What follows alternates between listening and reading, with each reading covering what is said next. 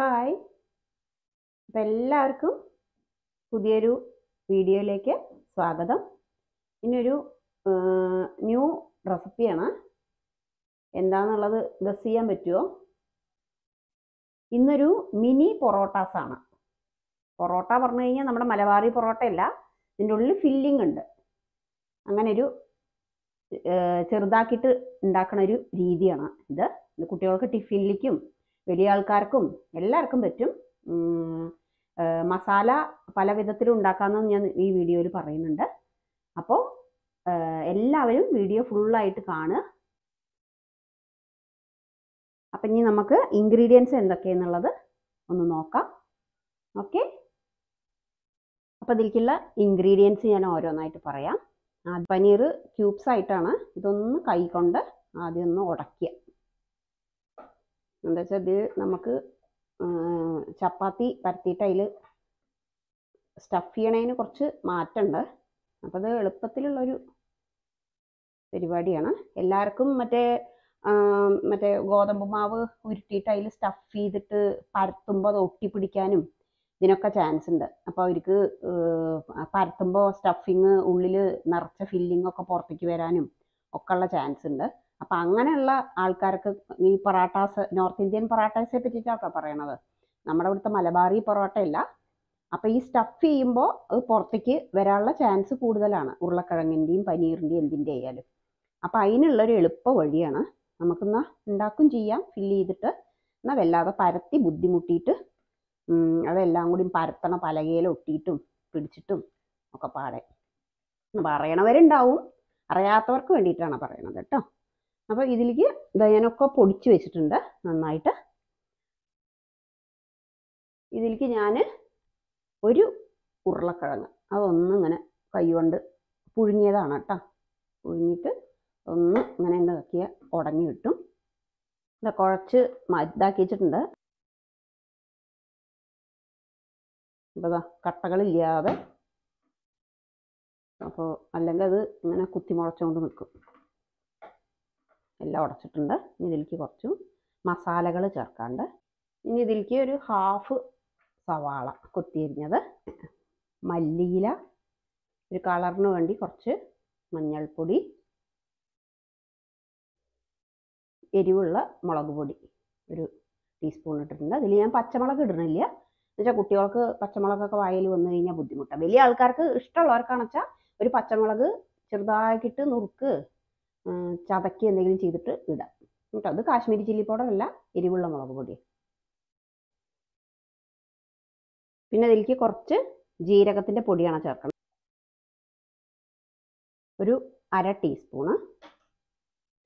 കുറച്ച് ഉപ്പ് കുറച്ച് മാത്രം ഇട്ടാൽ മതി.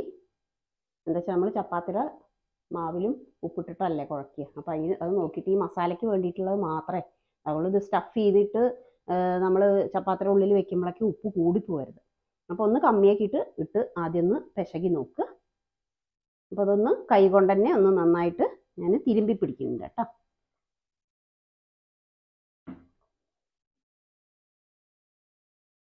വെള്ളം ഒട്ടും ചേർക്കരുത്. വെള്ളമൊന്നും ആവശ്യമില്ല.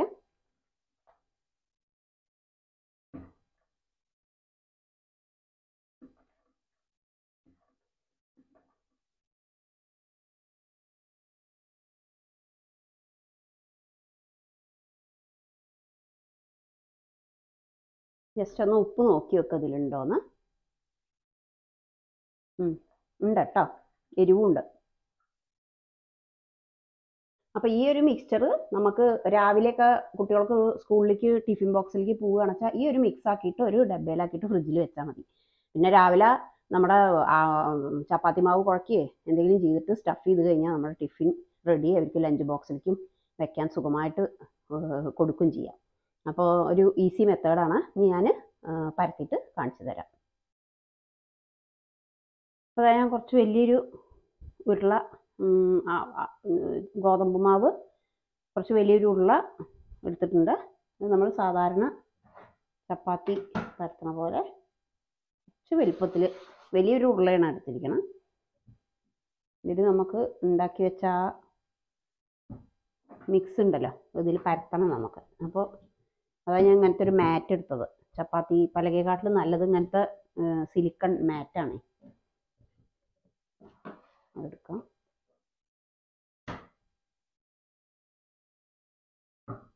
ഒന്ന് പരത്ത്. വല്ലാതെ കനലില്ലാതെ ആവണമെന്നില്ല അത്യാവശ്യം കനത്തിൽ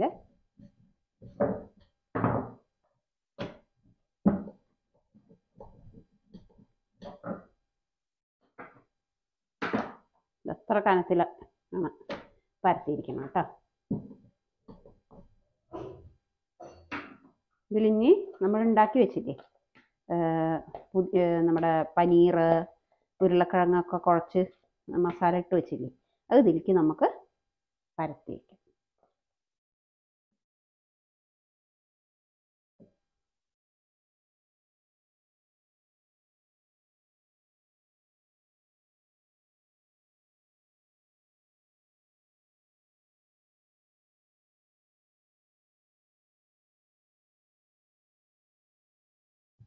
ഇതെന്ത് ചെയ്യണം? എല്ലാ ദിവസവും ഒരേപോലത്തെ ചപ്പാത്തിയൊക്കെ ഉണ്ടാക്കുമ്പോഴേ കുട്ടികൾക്കൊക്കെ ഒരു മടുപ്പ് വരും. അപ്പം അങ്ങനെ മാറ്റി മാറ്റി നമ്മൾ രൂപമാറ്റങ്ങളും ടേസ്റ്റ് മാറ്റങ്ങളൊക്കെ വരുത്തി കഴിച്ചാൽ അവരും നല്ല ഇൻട്രസ്റ്റിൽ കഴിക്കും.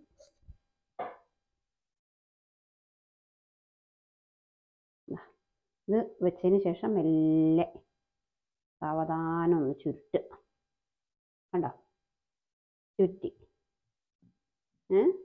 അതിന് ശേഷം ഇതൊന്ന് കട്ട് ചെയ്യണം. അപ്പോൾ ഇതൊന്ന് ഒരേ അളവിൽ ആവണ രീതിയിലൊന്ന് കട്ട് ചെയ്യാം കേട്ടോ അങ്ങനെ. ഏകദേശം ഒരേ അളവ്. കണ്ട?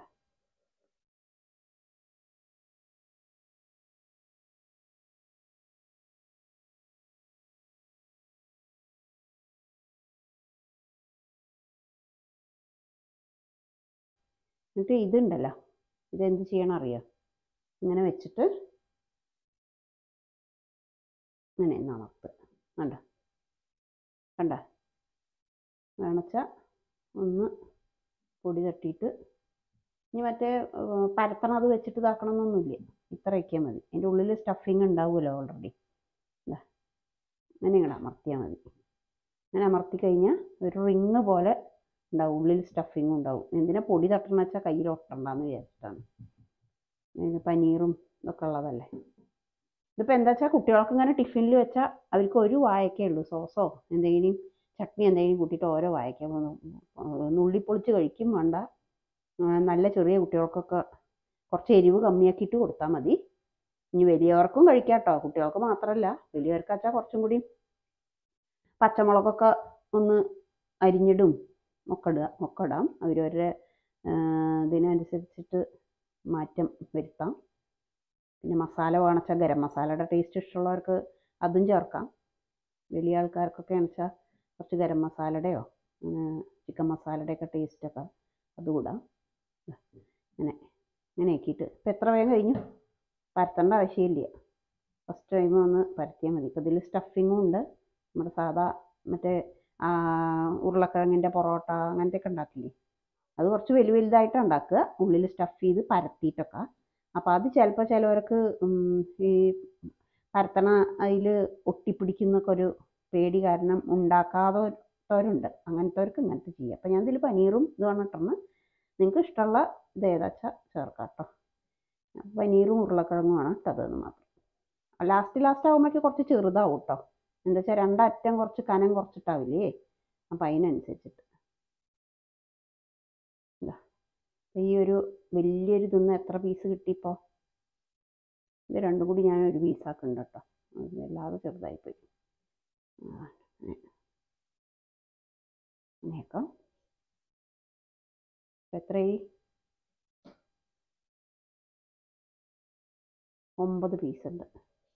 ഇനി ഇതെന്ത് ചെയ്യണം അറിയാം? ഒന്ന് രണ്ട് വർഷം നമ്മൾ ചുട്ടെടുക്കണം. അപ്പോൾ അതാ ഞാൻ പാൻ വെച്ചിട്ടുണ്ട്. ഇതിലേക്ക് എണ്ണ വേണിച്ചാൽ എണ്ണ ഒഴിക്കാം. ഞാൻ നെയ്യാണ് ഇടണത് കേട്ടോ. നെയ്യ് കുറച്ചിടാം. എല്ലാ ഭാഗത്തേക്കും നോക്കുക വല്ലാതെ ഒന്നും വേണ്ട. ഒന്ന് രണ്ട് ഭാഗം ഒന്ന് മുരിഞ്ഞെടുക്കാം. ഉള്ള രീതിയിൽ അത്ര മതി. ഒരു ടീസ്പൂണേ ഇട്ടിട്ടുള്ളൂ. ഓയിലാണെന്ന് വെച്ചാൽ ഓയിൽ ചേർക്കാം. എല്ലായിടത്തേക്കും ഒന്ന് ആക്കുക. ഞാൻ വലിയ പാൻ എടുത്തത് എന്താ വെച്ചാൽ ഒറ്റയടിക്ക് ഒന്നിച്ചിട്ട് നമുക്കിത് ചുട്ടെടുക്കാമല്ലോ എന്ന് വിചാരിച്ചിട്ട്. അപ്പോൾ അത് ചൂടായിട്ടുണ്ട് കേട്ടോ. ചപ്പാത്തി ഉണ്ടാക്കണ നമ്മുടെ തവ ഉണ്ടല്ലോ അതിലായാലും പ്രശ്നമില്ല. അതിൽ പക്ഷേ നല്ല വലുതല്ലെങ്കിൽ ഈ രണ്ടെണ്ണം മൂന്നും അങ്ങനെയല്ലേ വരുള്ളൂ. ഇനി വലുതായ വലുതാക്കിയത് എന്താ വെച്ചാൽ ഒന്നിച്ചിട്ട് വേഗം പരിപാടി കഴിയിച്ചിട്ട് അതാ ഓരോന്ന് നമുക്ക് ഇതിലേക്ക് വെച്ചു കൊടുക്കാം.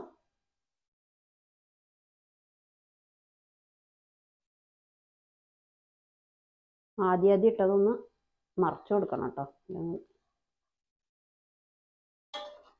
വേ മൂത്ത് കിട്ടും. എന്നുവെച്ചാൽ നമ്മുടെ ഗോതമ്പ് മാവും പനീറും ഒന്നും കൂടെ വേഗം ഇതായി വെറ്റ് കൊണ്ടുള്ളൂ ഉരുളക്കിഴങ്ങ് ഓൾറെഡി വെന്ത് കഴിഞ്ഞതാണ്.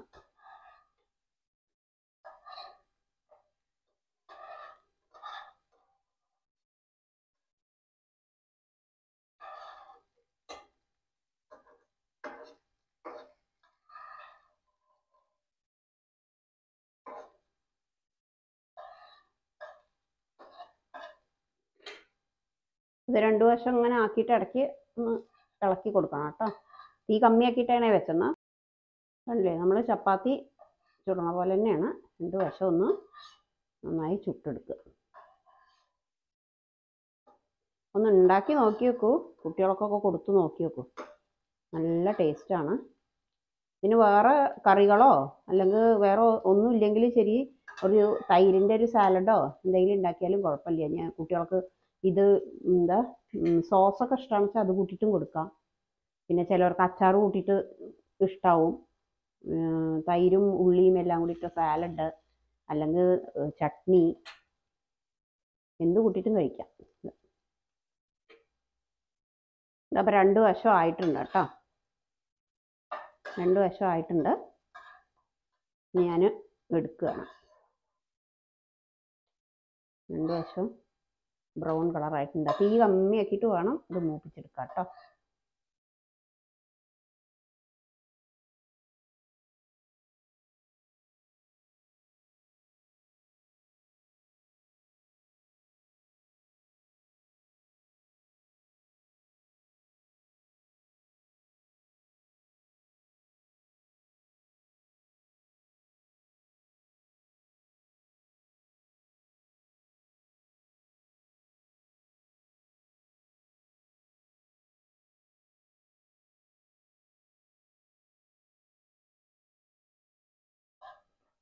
അപ്പോൾ എല്ലാവരും ഇത് ട്രൈ ചെയ്യുക ഇനി നെക്സ്റ്റ് ഒരു വീഡിയോ ആയിട്ട് വരാം. എല്ലാവരും ലൈക്ക് ചെയ്യുക ഷെയർ ചെയ്യുക സബ്സ്ക്രൈബ് ചെയ്യുക എല്ലാവരും സപ്പോർട്ട് ചെയ്യുക ഇത് തൈരും പിന്നെ വെളുത്തുള്ളി അച്ചാറും വെച്ചിട്ടാണ് സെർവ് ചെയ്യണത്. നിങ്ങൾക്ക് എന്താ ഇഷ്ടച്ചാൽ ചട്നി അരക്കുകയെ അല്ല ഇനി കറി ഉണ്ടാക്കുക വെച്ചാൽ കറി ഉണ്ടാക്കുക എന്ത് വേണമെച്ചാൽ ചെയ്യാം. ഞാൻ ഇവിടെ വെളുത്തുള്ളിയുടെ ഒരു അച്ചാറും കട്ട തൈരുമാണ് വെച്ചിരിക്കണം. അവരവരുടെ ഇഷ്ടം പോലെ എന്ത് വേണമെച്ചാൽ കുട്ടികൾക്കൊക്കെ കട്ട തൈരിന്റെ കൂടെയൊക്കെ നല്ല ടേസ്റ്റ് ഉണ്ടാവും പിന്നെ സോസ് അതൊക്കെ ഇടാം. ഇനി എരിവുള്ള നല്ലൊരു മല്ലിയിലടിയും പുതിയനടിയും ചട്നിയാണെച്ചാൽ അതും ഉപയോഗിക്കാം. അപ്പോൾ നിങ്ങളുടെ ഇഷ്ടം പോലെ ഏതാച്ചാൽ ഏതാ ഫേവറേറ്റ് വെച്ചാൽ അതിനനുസരിച്ച് ചെയ്യുക അപ്പോൾ ഓക്കെ താങ്ക്